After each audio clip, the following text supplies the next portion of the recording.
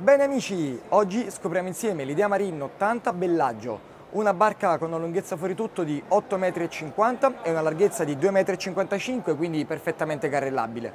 Noi ora faremo una passeggiata a bordo per scoprire l'allestimento, ma voi come sempre ricordatevi di lasciare un like a questo video e commentare con la vostra opinione.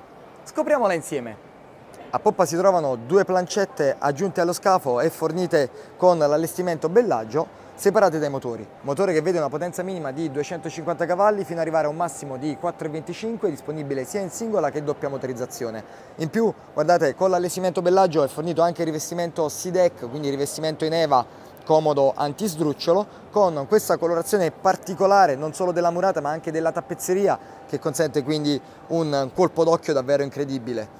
In più c'è questa striscia rivestita anch'essa in EVA che permette di avere un minor dislivello e passeggiare da un lato all'altro e quindi sfruttare entrambe le plancette come area indipendente. All'interno della plancetta di sinistra inoltre c'è la scaletta di risalita a scomparsa e opzionalmente è possibile integrarla anche nell'altra plancetta.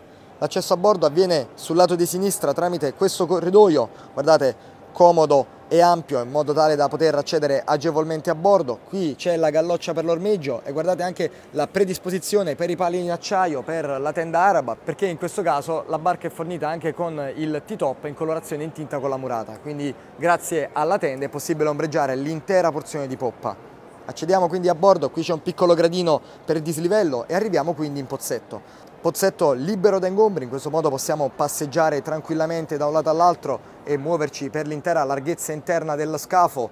In più ci sono queste comode poltroncine ricavate all'interno delle murate fornite di serie con divanetto di poppa lineare per 3 ma anche 4 persone e spalliera che può essere ribaltata verso poppa per raddoppiare la sua estensione. In più il divanetto è gavonato al suo interno, sollevandolo si ha accesso alle batterie, agli impianti, alla pompa di sentina e spazio per lo stivaggio. E guardate qui c'è la predisposizione per un foro per installare una base fissa con tavolo e avere una grande dinette di poppa perché in questo modo sfruttando il divanetto e le due poltroncine all'interno delle murate possono trovare posto davvero tantissime persone e in più sfruttando la stessa base del tavolo è possibile abbassarla a livello dei cuscini e aggiungere un altro cuscino per avere un unico grande prendisole di poppa. In più c'è la possibilità di sollevare il piano di calpestio per accedere ai serbatoi che sono presenti al di sotto del piano di coperta, oltre a tanto spazio per lo stivaggio. In questo modo possiamo effettuare tutte le operazioni di rimessaggio, sia ordinario che straordinario. Poco più avanti si trova il blocco seduta, blocco seduta in vetro resina con alle spalle il frigorifero con porta abbattente, mentre da quest'altro lato c'è un portello con accesso interno non solo per l'ispezione al motore del frigorifero, ma c'è anche la possibilità di installare la bombola perché sollevando la seduta si ha accesso al blocco cucina. Cucina quindi esterna con fornello tradizionale in questo caso e lavello, ma su richiesta è possibile installare qualsiasi tipologia di piano cottura o avere un comodo piano d'appoggio. Ci spostiamo verso prua, guardate c'è un gradino perché c'è un dislivello dovuto all'altezza della cabina interna, ma ci arriveremo tra un attimo.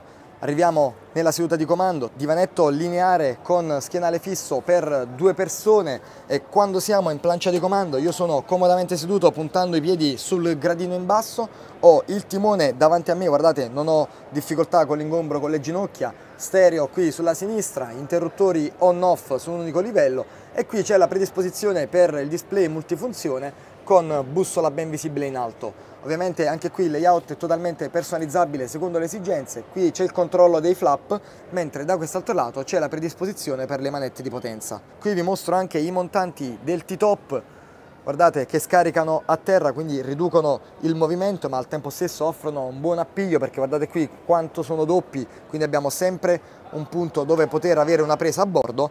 Oltretutto guardate anche l'altezza delle murate perché a poppa arriva all'altezza del mio fianco poi va ad abbassarsi rispetto al piano di calpestio ma supera anche il ginocchio abbondantemente. In più da centroscafo parte la battagliola alta e solida e c'è anche la maniglia tienti bene ricavata dal profilo in acciaio del parabrezza che permette quindi di superare i due gradini e accedere al passavanti. Guardate qui, doppio gradino e arriviamo nella zona di prua che è totalmente rivestita di cuscini, quindi comodissima con rialzo nella porzione rivolta verso poppa a fornire un supporto per la testa, ma abbiamo anche lo scudo qui a formare una chaise longue davvero molto pratica per due persone con integrati due altoparlanti dello stereo. Arriviamo quindi nella porzione anteriore, guardate anche la larghezza della prua, anch'essa rivestita in eva con portello sollevabile a rivelare il vericello. Vericello quindi monitorabile dalla plancia di comando quando solleviamo il portello con l'attuatore. In questo modo una sola persona può effettuare tutte le operazioni di manovra stando in plancia di comando perché riusciamo a vedere non solo il vericello ma anche il musone. Invece stando a prua c'è il controllo qui del salpaancora e anche il vano di ispezione della catena e anche l'accesso per il motore del vericello. Completa l'allestimento la doppia galloccia per ormeggio da un lato e dall'altro, la battagliola che va ad alzarsi ulteriormente, in questo modo anche quando si scende di prua è possibile avere un pieno supporto e il gradino per agevolare appunto la salita e la discesa in caso di ormeggio di prua. Ritorniamo verso poppa, guardate c'è un doppio passaggio simmetrico, quindi davvero molto comodo perché possiamo circolare intorno alla barca senza difficoltà ed entriamo in cabina.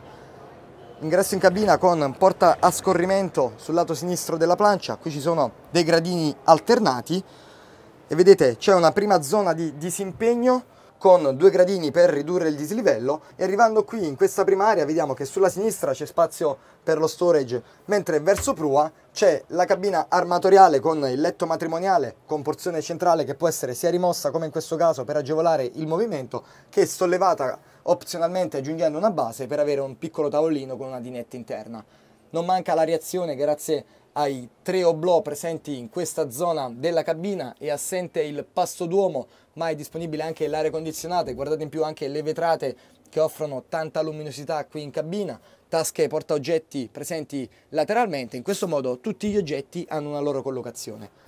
In più al di sotto del piano di calpestio verso poppa c'è la cuccetta ospiti. Cuccetta ospiti con letto a una piazza e mezzo e un'altezza di circa 65 cm in questo modo possiamo sfruttare la barca per crociere di famiglia con due adulti e due bambini oppure utilizzare anche questa zona per stivare il materiale e quindi avere il resto della cabina libera. Cabina che ha anche un'ottima altezza perché guardate io riesco a stare perfettamente in piedi, altezza interna di 1,90 m che va ad abbassarsi nella porzione anteriore ma quando sono seduto vedete riesco a sfruttare pienamente l'aria e quindi possiamo vivere totalmente la barca sia all'interno che all'esterno. Infine in cabina separata si trova il bagno Accedendovi c'è quindi il locale indipendente con lavello spostato verso prua, mobiletti per lo storage, VC rivolto verso poppa e vi mostro anche l'altezza interna perché siamo superiori al 1,75 m nonostante ci sia il rialzo a terra dovuto all'impiantistica del bagno, quindi possiamo sfruttare la barca